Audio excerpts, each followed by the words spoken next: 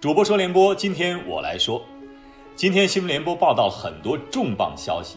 那其中之一呢，就是大家应该是从今天早晨开始就一直在央视新闻当中持续不断关注的中美两国元首的首次视频会晤。北京时间今天上午，美国当地时间十五号的晚上，中美两国元首习近平主席和拜登总统举行了第一次云会晤。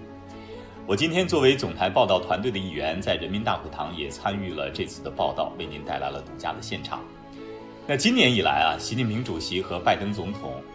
二月份、九月份各通过一次电话，这中间相隔了七个月，而这次的视频会晤和上一次通话相隔了两个月。今天的会晤呢，总时长持续了三个半小时，这比预计的时间超出了有半个小时左右。会晤结束的时候，美国已经是深夜了。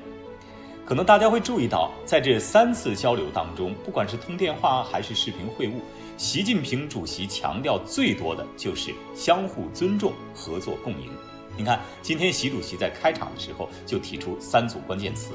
相互尊重、和平共处、合作共赢，明确地指出了新时期中美的相处之道。